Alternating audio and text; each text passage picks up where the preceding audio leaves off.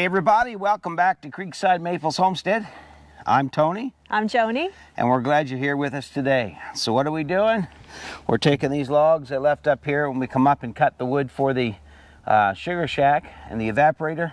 If you remember off that video, we left five logs up here and I found a guy that's gonna mill them for me, so now I'm trying to load them. That's what we're doing. Hang out with us today. It's supposed to be a pretty good day. Thanks for watching.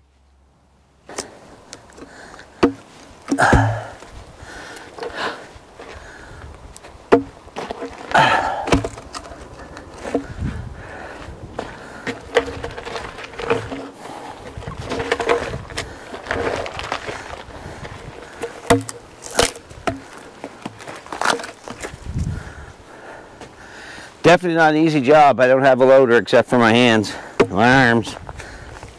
I wished I did. I wished I had a tractor. that would come in handy.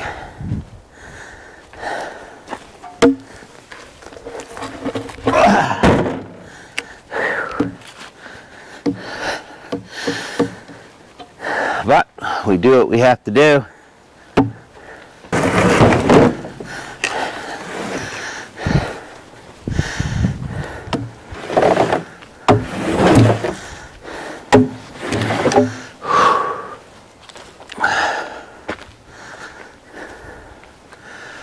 I know one thing, the pine is a lot heavier than the spruce.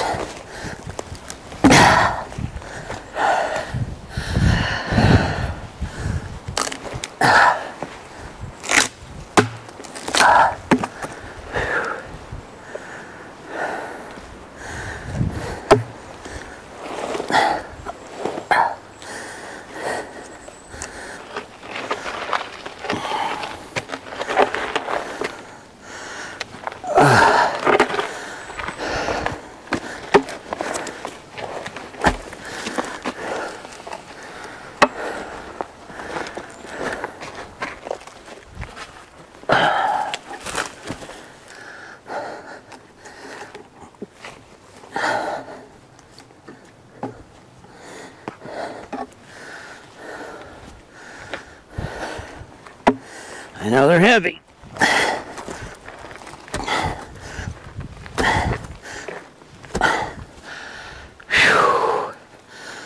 That's for sure.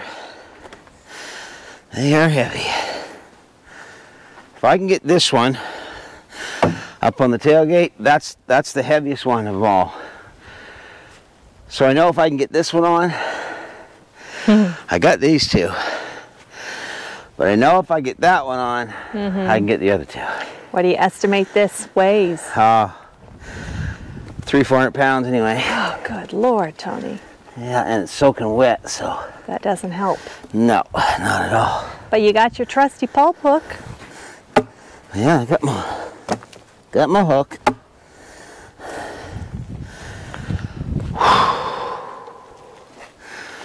Oh lordy.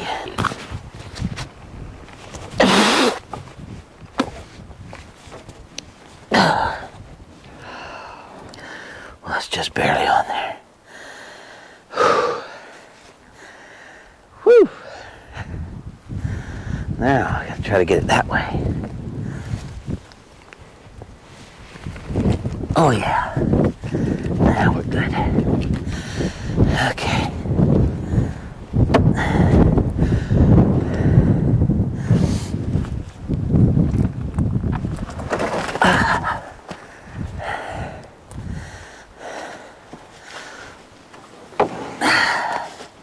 That tailgate can take that weight. Yep.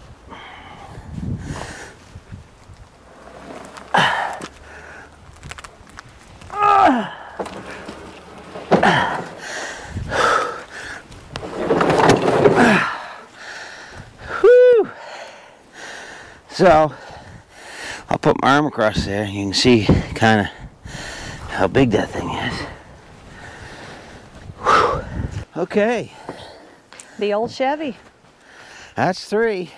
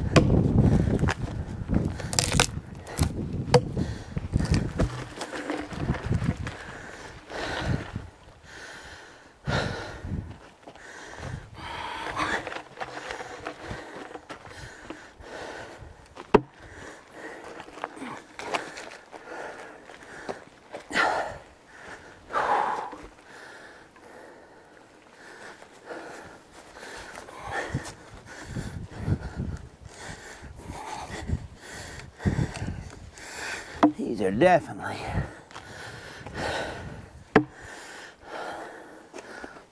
no fun.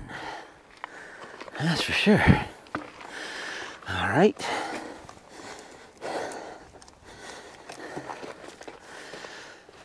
Whew, okay. Here we go. Whew. Ah. Ah.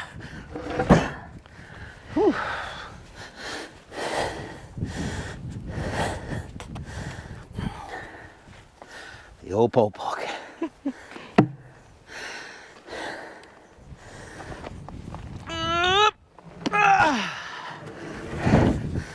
So one to go.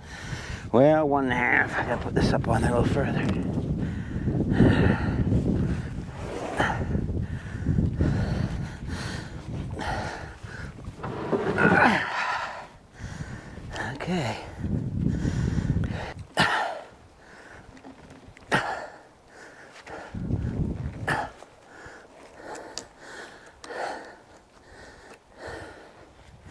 This will be a little tougher because I got to lift it up over the butt pieces I got there now.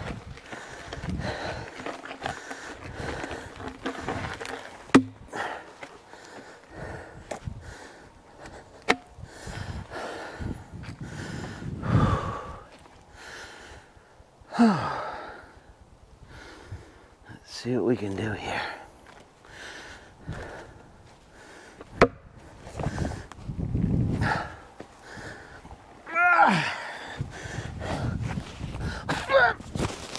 Ah, yeah. Get this one on there and we will have done well. I think out of these, uh, it's best just to make two by threes because we're building like chicken coops and, you know, goat, a house for the goats and, you know, things like that. So we don't need, you know, two by fours because this is rough lumber. So it's actually going to be two inches by three inches. So I think that that's perfectly fine. So I think that's what we'll do with these. They're all over eight feet, and that'll give us a lot of studs to do up the walls and do everything that we need to do. And then we'll get the boards out of some other logs. Maybe we can get, uh, perhaps maybe my brother will bring his tractor up with his forks on and load the few logs we've got. And that will help us as well. But these are very heavy. So we're going to try to get this last one on there. And then we're off to the sawmill where he does have a tractor and he mm-hmm. will unload them. oh boy.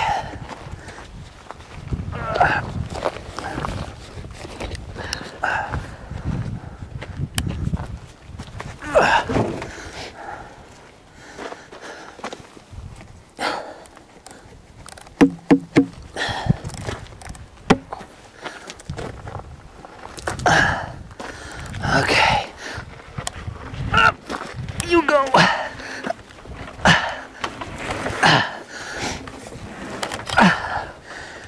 Harder when you're pushing up on it because the bark and everything catches, eh? Whew. Okay. Let's see.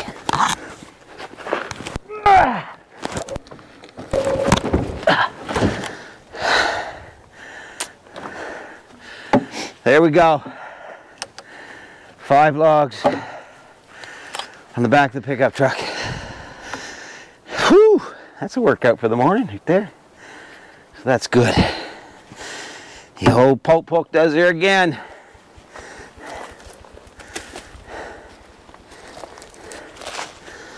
Move this bark out of the road.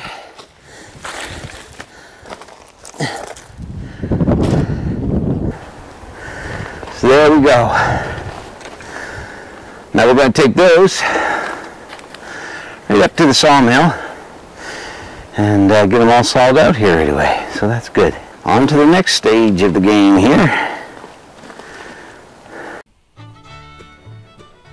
So this is Steve Trimper. I know Steve, well, I've known Steve his whole life, and I know Steve because his mother and father have been the very best of friends to myself and my wife. Matter of fact, I remember Steve when he was just a, a wee lad, and before that, I remember when his mama was pregnant with him. He now is married and has two little girls of his own. So he, his father told me that he had a sawmill. He's asking me right there um, if I want to keep the slab wood, and I told him that I wanted to uh, because we're going to use it as uh, wood for the evaporator.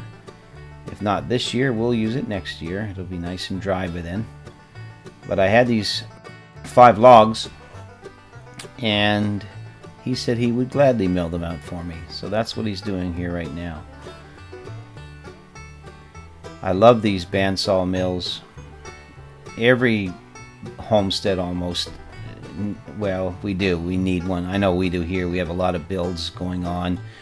We have to build our chicken coop bigger now that we have more chickens. We've got to build small barn for our goats and other things that we're building as well. So these sawmills are so, so handy. And you can turn out a lot of wood very quickly. I know us, or with these five logs that we took to him, we were able to get a lot of studs and boards. You'll see at the end here when we're done milling how much wood we actually got. The reason I did the voiceover on this section is the bill, uh, the bandsaw mill makes so much noise that we would be screaming at each other just to hear. So I figured it's much easier if I just narrated what we're doing here so everyone could hear and see without the roar of the mill in the background and all the noise that comes with it. But he's just taking the top off, scalping the top of the log there right now, and that'll just go into um, slab wood. He's getting ready now. He's setting his uh, depth gauge, the width of the board. All the boards that we're cutting are one inch, and uh, they're six inches wide. Some are eight, and then the studs that we're cutting are three by two. The difference between rough cut lumber and the lumber you would buy at the, let's say, the warehouse store, is that, for instance, a two by six at Home Depot or Lowe's will measure five and a half inches wide by an inch and a half thick. When you're dealing with rough lumber, if it's a 2x6, it's a true 2x6. That thing will be 2 inches thick and 6 inches wide. And that's the beauty of really using rough lumber, is that you get that, that full, I guess we call it the thickness or the meat of the wood there. It makes it, you know, much um, sturdier, stronger. So he's just squaring the other, or scalping the other uh, side. He's got two sides done. And he's just setting the dogs now to hold the log in place. And here it comes. That makes a nice shot right there. You can see just how efficient that sawmill truly is. That is my dream and goal for our homestead is to find the money, raise the money, do something to get a sawmill. It'd save us so much money now because lumber is so expensive. You know, one 2x6, 12 feet long is like 20 some dollars. A 2x4, 8 feet long is 11 or 12 dollars. I went and bought a few weeks ago, I had to have a pressure treated 2x6, 12 feet long. It cost me, what was it, $42, I believe it was, for the pressure treated. You can't afford that. Now, see what he's doing here now. He's split those, so that's an actual um, stud he's making. So now he'll split that right in two, and that will be an actual um, 2 by 3 and that's what I'll use to build the chicken coop and the goat house and another small barn and a storage area.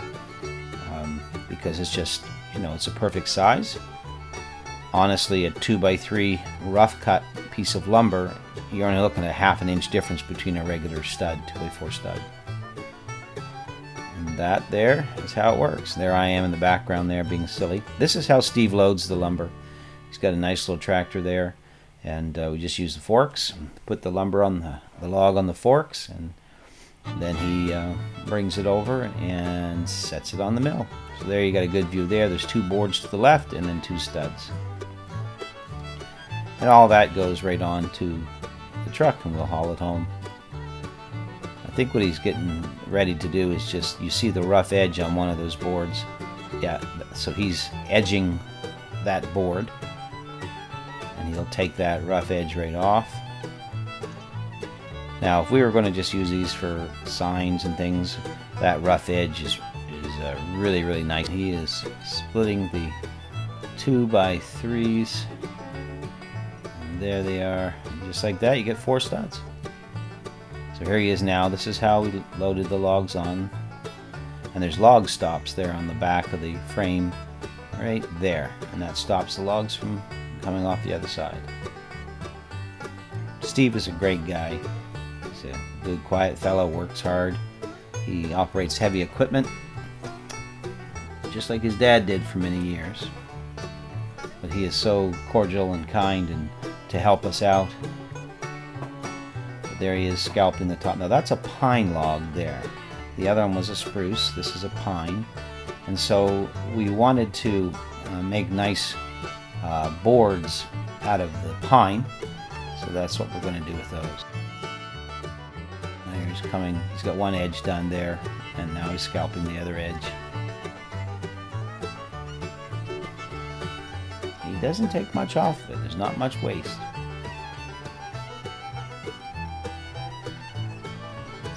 See now. There's a close-up of the bandsaw, the blade, and it just cuts through that stuff just like butter. Hot knife through butter.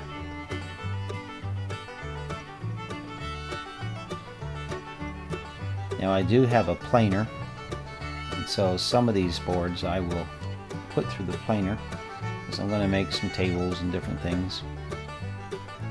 But it looks really sharp. Does a great job. Like I said, I'm very envious. Those blades are, he sharpens them right there on the farm, and they are sharpened to about 10 degrees. My wife's going to uh, talk to Cassie there a bit and take you on a little tour of what they have for farm animals here. So keep watching and we'll come back to the milling in a bit. Perfect. All right, so Cassie, give me a tour. well, before we have to see this. That's Ginger the goat. She has made herself a nice little spot right there. Alrighty. Yeah, so here we've got our pigs. We've got all our sows are in one section. All right. And these guys are our feeder pigs. So earlier they were having a time playing, and Yes. now I guess it's nap time. Now it is nap. They sleep quite a bit. They sleep quite a bit. So h- about how old are these? These ones are almost two. They were, Oh, they're or no, I guess almost or over a year old. I guess. Would that be considered quite young in pig years? Yeah, it would be young. Normally, most people would have them done already, but we, uh, we So- let them grow big. These are going to freezer camp. They are. Yes. All right. There's the horses. And what kind are they again? Uh, Duroc, and these ones are Duroc Tamworth. Cross. I won't get too close. Hi, Biggie. Disturb. so these all from the same litter? Are they? Um, the spotted one was a different litter, and then these three are all from the same. And is this mama over there? That is. or grandma? That would be the grandma, actually. That's grandma. Yeah. I don't think she had a litter last And so you keep her separate Yes. On purpose. Would she be too Uh, mean? No, we just like to keep them all separate so we know where everyone's Who's at, who. and they all, have different types of feed, so we Okay. that way we can keep track of feed and all All right. that. Yeah. Of course, and then we got the beautiful farm dogs. All What are you here. Be an idiot. All right, and here's their the pig barn that they built. They have 120 acres here, Yes. and I love this horse barn that they did. Here. Here is our newest one, Pike. Hey, you. We've only been here for about a week. Oh, it's a beautiful horse. And this one is not broke yet, right? Not broke yet, no. Alrighty. Got Maple. She is broke. She's Maple. Her oldest daughter's horse. You've had her how long? Uh, we've had her oh, five years now. And your daughter rides her bareback. Bareback all the time. And how old's your daughter? Ten years old. 10 years old. She's been riding her bareback since she's been about five or Oh. six, or before, She's braver than me. or five. Yeah, five. Yeah. Alrighty. and then out here, or way down, Oh, yeah. dragon. Two more out here. And you've had these two the longest? Yes. Okay. We've had dragon's been here her whole life. That's so funny. They like to play with them. no, they like if they hear them go and they think they're the doing something wrong. mind. No. Never ever been any No. incidents. No. Look at that. Oh, they're so lady. pretty. Hey, you. So they've got their their little creek flowing right through for them. Fresh water. Can't beat that. Oh, they love it.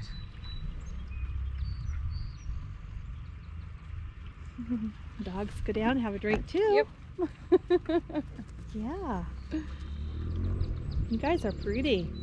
They are. Okay, so what's better. next, Cassie, on the tour? Next. Do oh, The alpacas? Yeah, we can see the alpacas. They're Okay. up in the field. we'll soon be getting ready to shear them. Well, I bet you that's interesting. Hmm. Are they all usually cooperative? Nope. we have a table that we have to put them on Okay. so that we can. Well, for one, it's up higher. I think Mhm. all our alpacas are up here. Although you can see the males with the cows, we do have males in there. And you have how many? Alpacas? I Mm. believe we have 20 right now. 20. Look at the dandelions growing over know. here.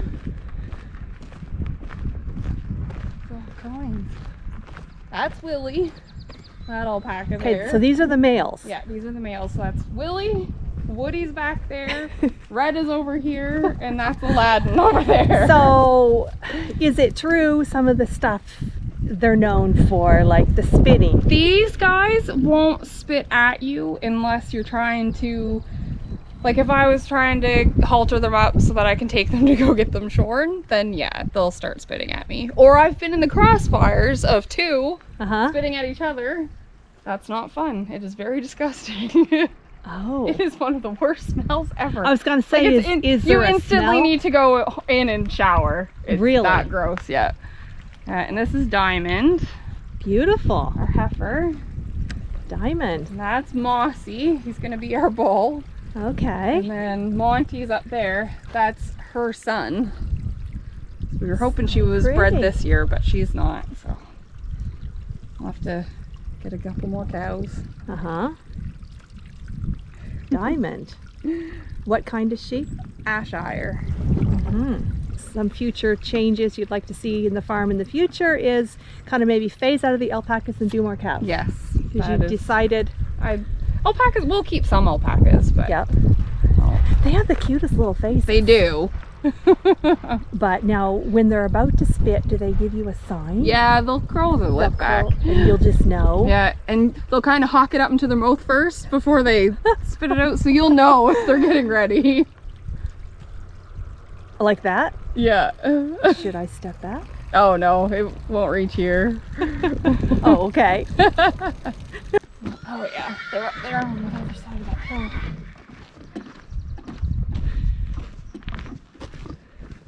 That is so funny. Look. My goodness. That is too funny. Oh, look at the dog oh, having a swim. Look at that. there you go. That's farm life at its best right Yep. there. Hear one, then they'll all come running to go for a Is this where you have the goldfish? No, the goldfish are down at the very Oh, front. Yeah. She Yeah, even has your- a goldfish pond, people. yeah. So they have quite a lot of color varieties, don't they? Yes. That one over there that's Yeah. kind of just grayish. That is Maria. Maria's her name. and then her mom, I think, is beside her. Her name is Spaz.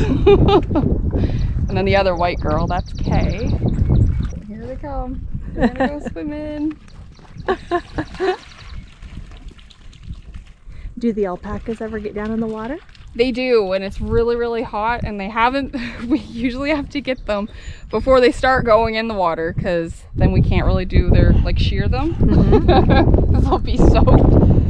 So pretty soon. Nights are still a little chilly to start shearing them yet. Yeah. And so what you sell the the wool? Um, we do. I would Mhm. like to start to learn to clean it and spin Mhm. it all myself, but You can do that in your spare time. I, yeah, all spare time. All your spare time. Cassie. Yeah. I certainly can. so, did you say you put her in at night, or does she just kind of go find her spot? Um, she usually goes in herself, so once she goes in, then we just lock her up. Because who knows what she'd get into in the middle of the night. Because it's really true what they say that they like to eat anything. They, they will eat anything at all. What's the craziest thing you can ever remember a goat eating? She ate paper. like just paper. She would find a piece of paper and and eat that. I haven't seen her with any cans yet.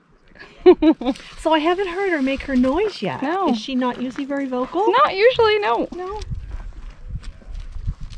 There you go. we gave you a little tour.